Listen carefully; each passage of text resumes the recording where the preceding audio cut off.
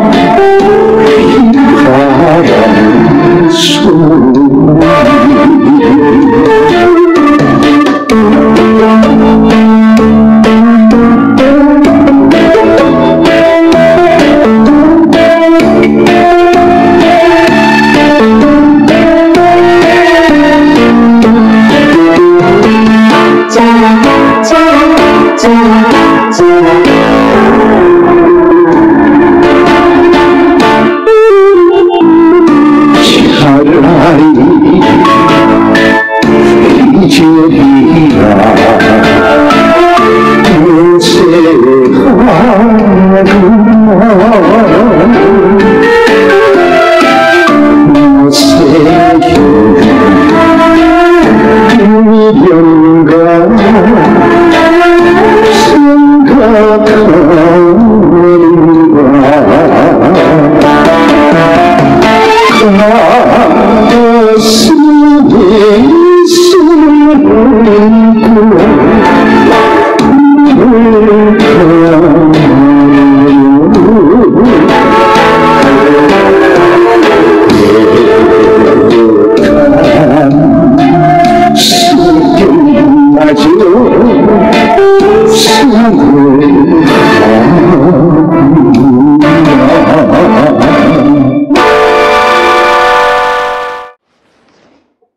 안녕하십니까. 동초 김장실의 노래 이야기. 오늘은 이부풍 작사 박시춘 작곡 남인수 노래 1938년에 나온 예수의 소야곡으로 가지고 얘기를 좀 해보도록 하겠습니다. 남인수는 우리 한국 대중가요 100년 사상 가장 위대한 가수 중의 한 분으로 알려져 있습니다. 이분이 부른 노래는 무조건 히트하는 것으로 알고 있는데 사실 이분도 가수 처음 시작할 때 참 좌절을 많이 겪었습니다. 어, 남인수가 19살 때 시에론 레코더사를 찾아가가지고 문예부장 박영호를 만났습니다. 그때 레코더사의 문예부장은 가수들의 생사를 좌지우지할 정도로 정말 힘 있는 자리인데 이 박영호 선생은 정말 우리 일제시대 작사가 중에 최고의 작사가 중에 한 분이죠. 조명암, 조명암이라는 분하고 두 분이 참 뛰어나신 분인데 이분이 남인수를 테스트 해보니까 정말 노래를 잘합니다. 그때 남인수는 맨발에 양말도 신도 않고 계다를 신고 왔더랍니다. 이름은 당시 이름은 강문수로 했습니다. 그래서 노래를 시켜보니까 너무 남인수가 노래를 잘하니까 작사가 박영호 선생은 박시춘천에게 야 벌써 100년에 한 번 나올까 말까 한 가수요. 목소리는 정말 타고났지. 영모는 제 차라봐서 정말 예쁘요.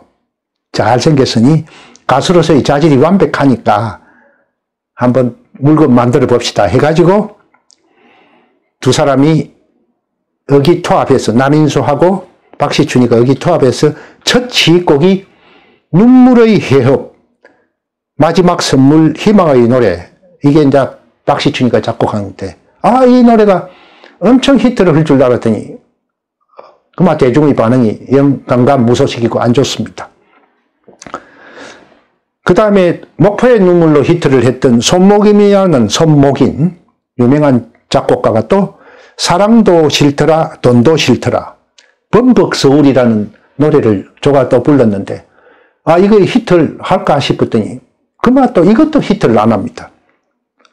그러니까 인기 작곡가 박시춘이가 야 이런 노래도 히트를 못하면 나 아마 작곡 안 할란다 해가지고 이분이 작곡에 한동안 손을 떼고 낭낭자 악극단이란 데 관여를 해가지고 밴드마스터로서 전국을 유랑을 다녔습니다.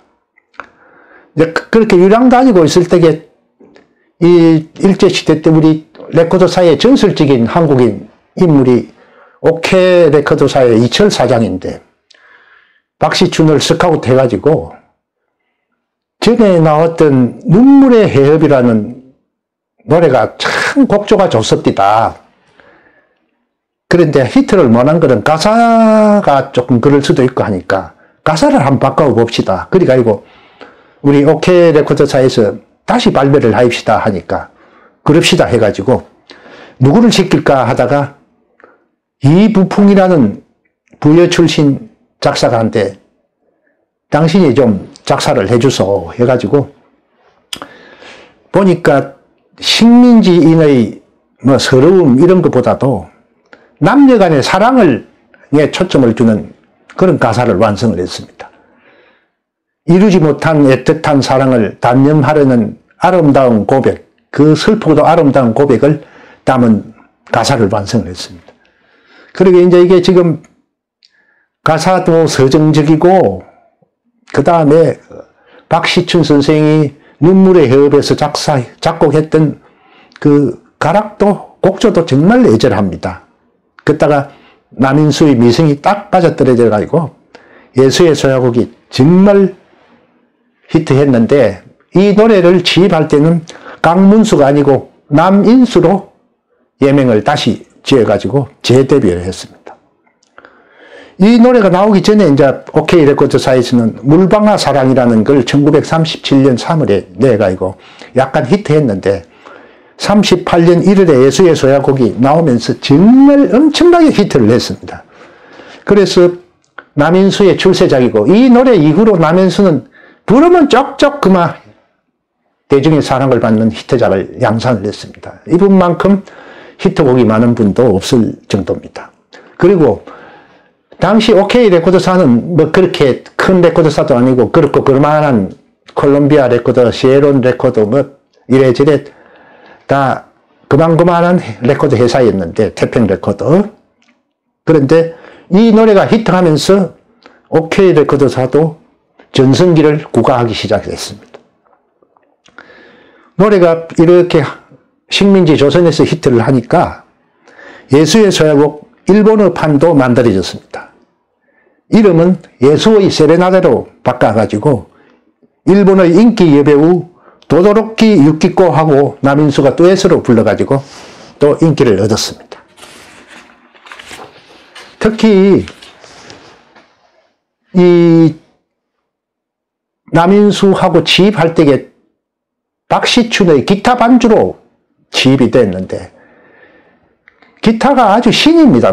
우리 박시춘 선생 기타가 너무 잘 치니까 어, 공연이 있거나 이 레코드를 들으면서 관객들이 완전히 도취를 했습니다. 그래서 아 박시춘 선생 저 훌륭한 기타를 내가 배워봐야지 하고 좀 가르쳐 주이소 하고 찾아갔습니다만 또 박시춘 선생은 나는 선생도 제자도 없다며 모두 다 거절했습니다. 아까 말씀드렸다시피 박시춘, 남인수는 이 노래를 시작으로 해가지고 30년 콤비를 가동을 시킵니다. 그래가지고 둘이가 짝짝꿍이 돼가 노래를 만들고 부르면 히트를 했는데 대표적인 게 가그라 38선 아 산이 막혀 못 오시나요 아못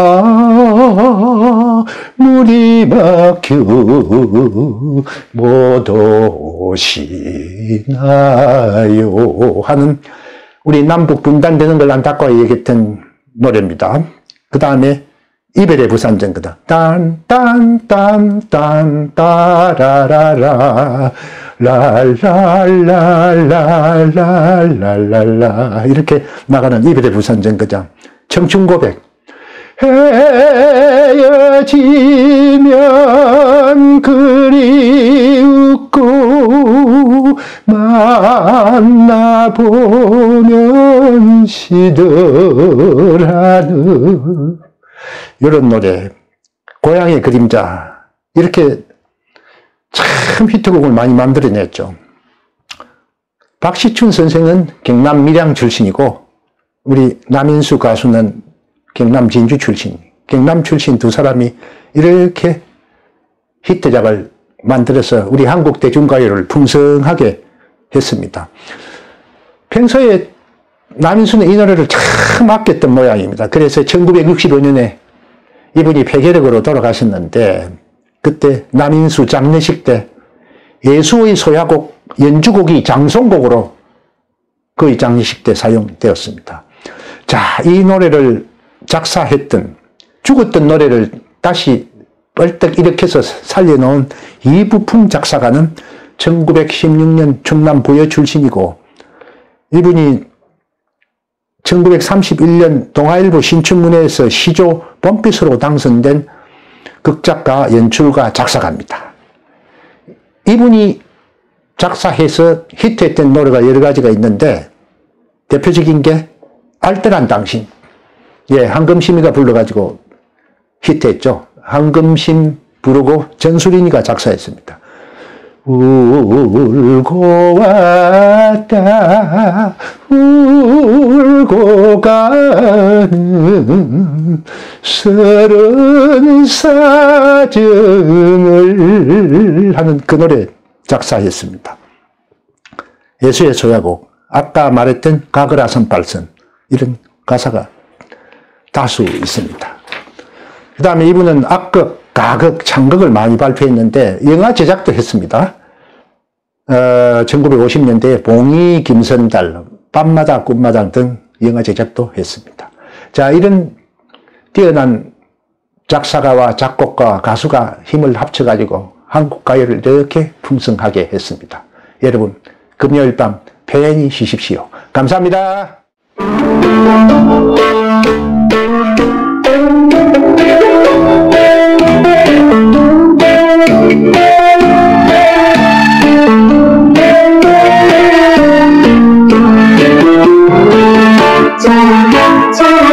to, to, to, …